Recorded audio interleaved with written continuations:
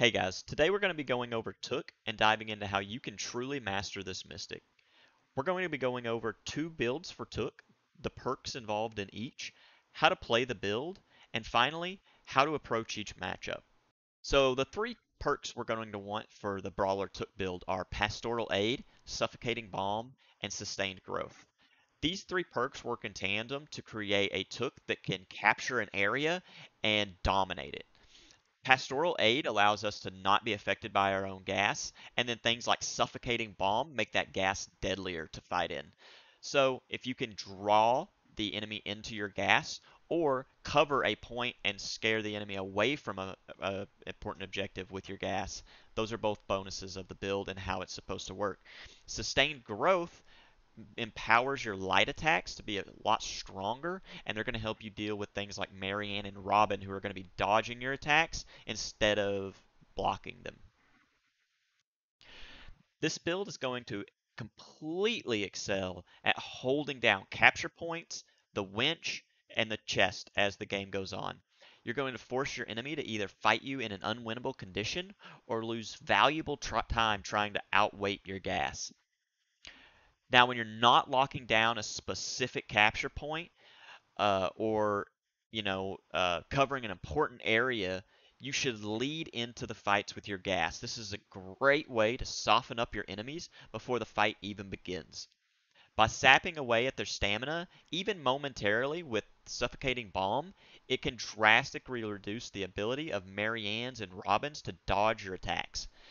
And it makes battling Johns and other Tookes not easy, but it should swing the fight in your direction, as having more stamina is usually a precursor to winning a fight. With this Tooke, you want to be using your ult selfishly to heal yourself most of the time. Uh, the only thing you should be aware of is that you are an easy target for assassination and to be headshot by something like a Marianne when you uh, ult.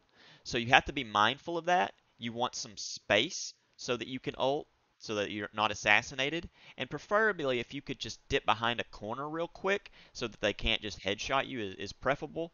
But if you're about to die, you have a sliver of health, ulting for full health can sometimes bait the enemy into trying to light attack you to finish you off, and then giving you an opportunity to come back and hurt them or kill them. Now, the second build that we're going to talk about is Support Tooke. And the perks that we're going to run for support Tooke are Medicinal Potion, Deep Rooted, and Vampiric Bludgeon. Now, this build is much, much more difficult to execute, and I would highly suggest running this only when you're in a duo or a full party, and it's crucial to have another melee character on your team. I know that's a lot of caveats, but uh, they're very necessary. So obviously this build is built based around support. Uh, things like deep rooted is going to expand your ult's ability to see your enemies. Medicinal Potion gives you the ability to heal your own team, and Vampiric Bludgeon will give you a little sustain in the fights, which is important.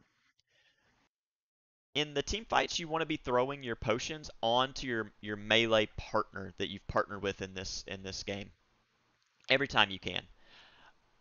That's going to heal them and allow them to sustain in the fights for a very long time, so long as they don't get assassinated. That is where you come in. Your job is to keep your melee companion from being assassinated.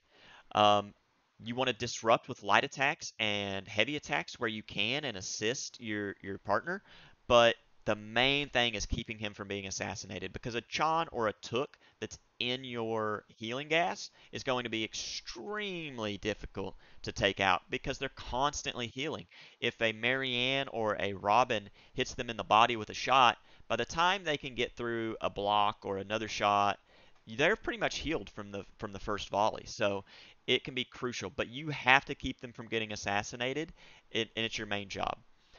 Um, it is gonna be difficult at first, and it's it's a much more niche build than the other Tookes build. But if you do this correctly, it's possible for you and another melee to full wipe an entire enemy team by yourself.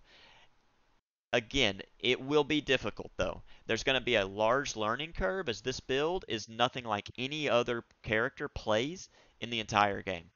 So understand that if you use this build, there's going to be a learning curve, and it's going to be a little bit painful at first, but it can be good, and it can be done. One of the greatest advantages of this build actually is that after team fights, instead of ulting to get your team to full health, you can save that by using your gas to heal everyone up and be able to almost always ult in the middle of a fight and potentially change the tides. If you ult and you get a John or a Marianne maybe in your ult, heal yourself up uh, as well, then you can tank damage. You know, you're you're taking damage that could have otherwise been on your Robin or your Marianne. Your John's able to fight longer. Your Marianne's able to fight longer. It's going to really turn the tides of the battle, and you're going to see a lot of wins from that. Now, the matchups are pretty straightforward for Tooke. Um, when you're going against a Marianne, you're not going to want to use your right click. Using your right click is a real fast way to get assassinated or shot in the head by a uh, good Marianne. You're going to want to light attack spam, but you're going to want to do it kind of in a in a special way. You want to get nose to nose with her before you start attacking. If you can make her dodge before you even get to her, that's great. She's used up a dodge. Now you want to get nose to nose and then light attack spam.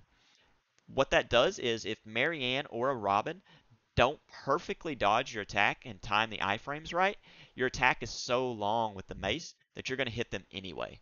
And if you can hit them two times with sustained growth, you're going to kill them. You're going to need the full three if you're running the support build, but just two hits with sustained growth will kill a Marianne or a Robin on the spot.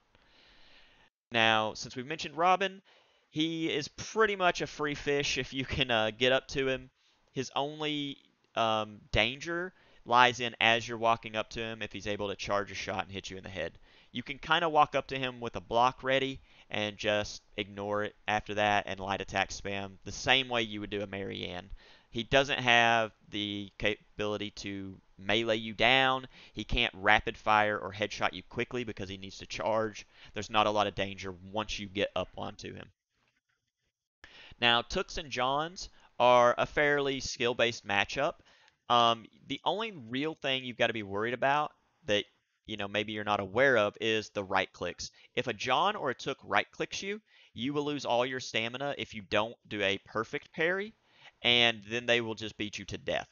So you can't just hold block against a John or another Tooke if they're going to right click you. You want to time it so that you hit spacebar or you hit your block right as that attack's going to hit you, and then that will stagger them for a very long duration, allowing you to get your own heavy attack in. And with Tooke, if you can get one heavy in, the heavy will stagger them long enough that if you immediately use another heavy, it will insta-kill anyone in the game. No one can take two of Tooke's right clicks in the chest. So if you do a perfect parry, right click, right click, anyone in the game is dead. And there's no way to get away from it because you're staggered the whole time. It's disgusting. But you have to get the perfect parry off. And if you don't get it off, you're kind of dead in the water. So Tooke is one of the most difficult to play champions and has a really high learning curve. I think personally, I didn't start getting decent at Tooke even after having played the game for a while until I was level 7 or 8 with him. So you're going to have to play some games. But I think overall, the return is amazing. Tooke's one of those characters that you just feel like you go into a game and you turn the tides like single handedly. So a lot of risk, a lot of reward. Um, but yeah, that's that's how I see Took, and hopefully I help some of you guys out. If you have any questions or comments, if I've left anything out or you didn't understand something, comment down below. Let me know. I'm going to read all of those and reply to every single one that I can get to. Um, and thank you guys so much for watching. I'll see you next time.